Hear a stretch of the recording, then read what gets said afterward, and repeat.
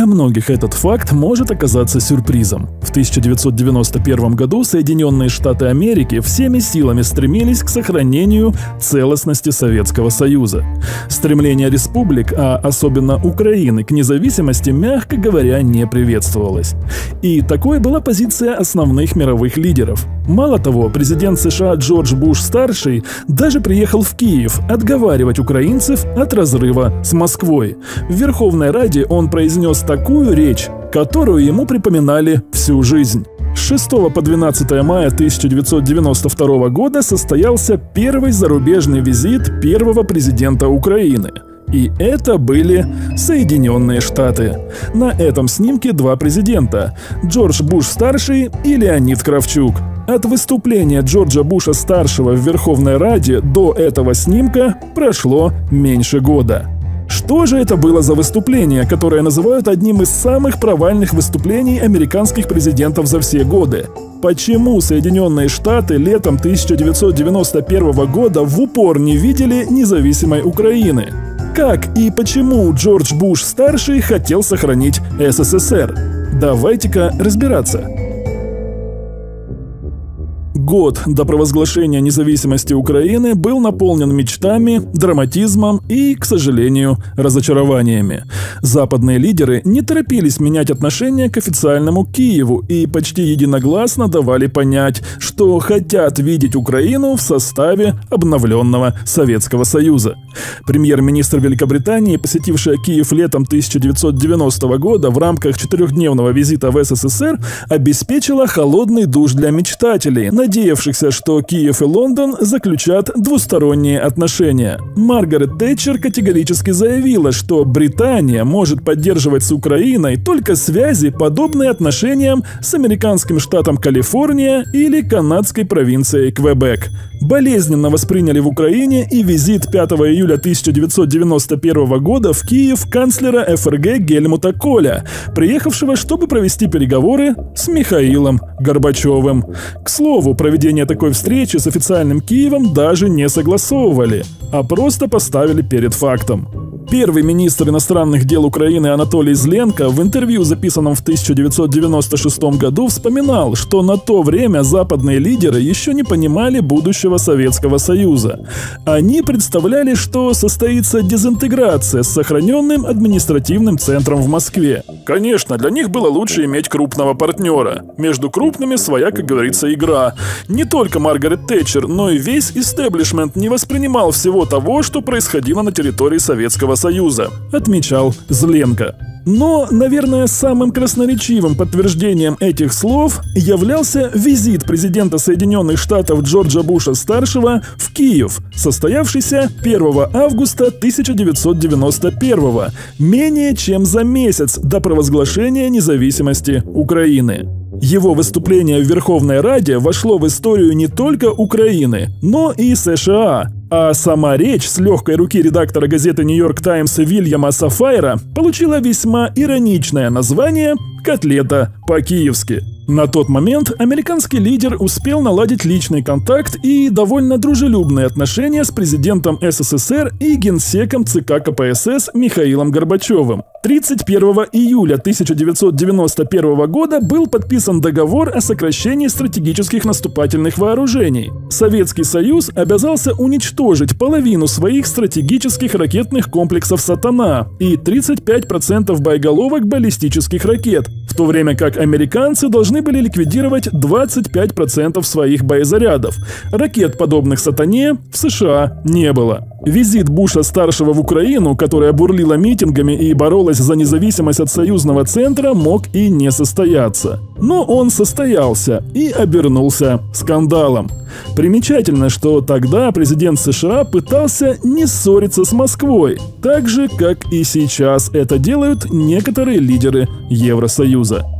В июле 1991-го советник советского посольства в США Сергей Четверяков неофициально сообщил американцам, что посещение Киева было бы плохой идеей. Дипломат посоветовал поехать на малую родину генсека Горбачева в Ставрополь. Буш поначалу не планировал раздражать своего советского коллегу. Однако тональность послания не понравилась главе США. И американцы не стали вычеркивать из своих планов Киев, который уже год назад жил в условиях формального суверенитета и хотел больше независимости.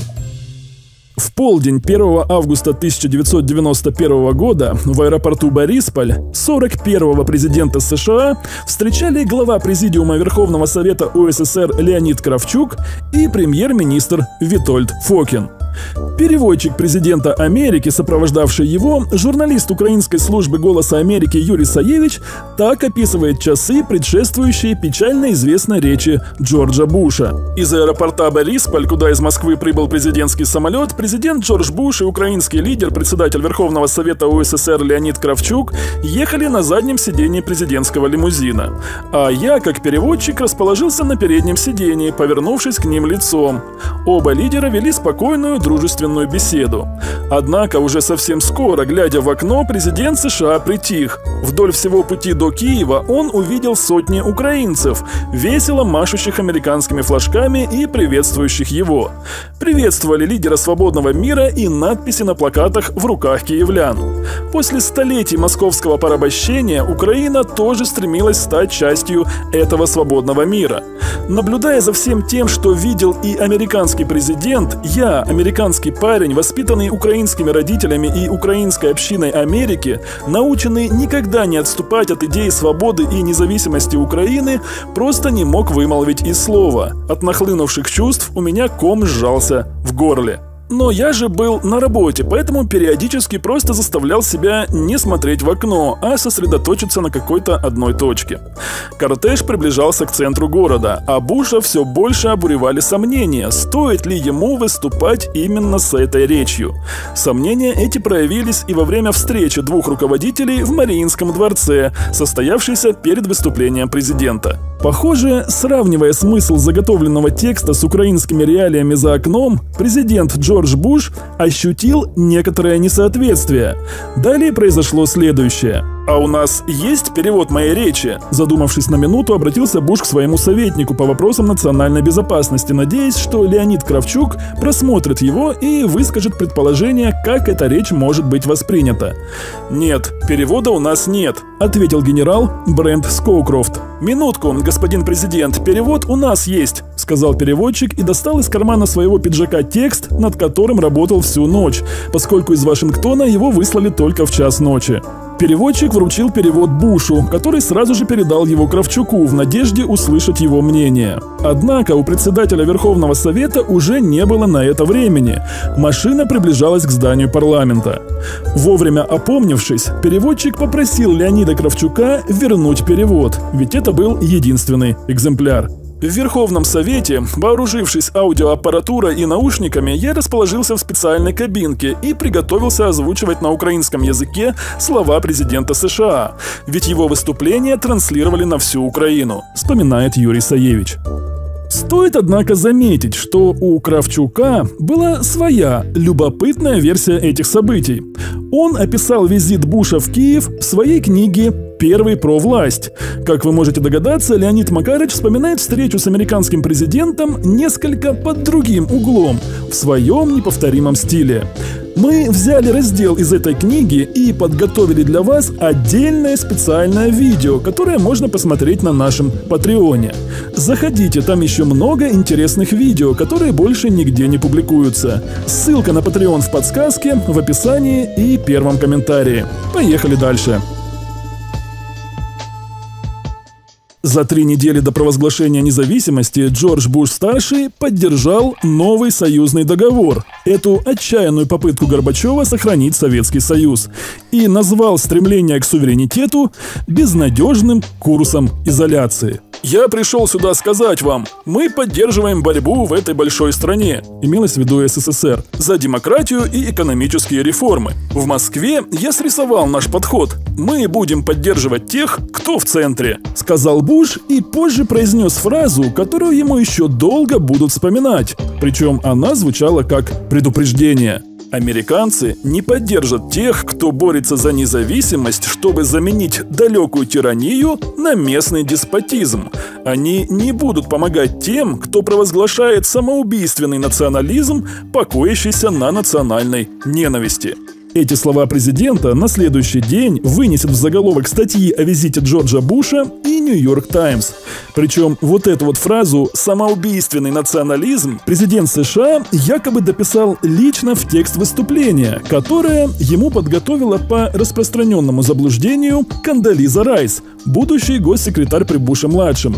На самом деле речь Буша написал советник по вопросам национальной безопасности генерал Брент Скроукрофт со своими помощниками, среди которых была и Кандализа Райс.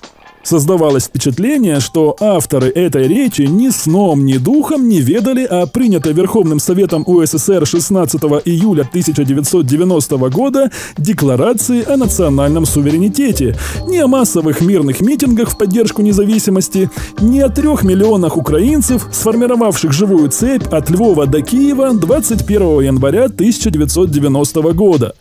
Из-за абсолютного незнания истории Украины, непонимания текущих тенденций, движущих сил и процессов переформатирования Восточной Европы летом 1991 из-за самого смысла послания, оскорбляющего аудиторию, в которой оно произносилось, этот текст можно было бы назвать самой неудачной из когда-либо написанных речей для президента США.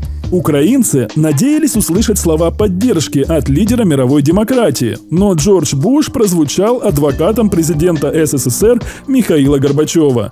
Для украинского руководства, как и для всего украинского народа, речь американского президента стала холодным душем. «Свобода – не то же, что и независимость», – сказал Буш. Он четко дал понять, нечего рассчитывать на помощь США в поддержке идеи независимости. Любопытно, что это поняли даже коммунисты в Верховной Раде. Это значило, что завоевать свободу украинцы должны сами.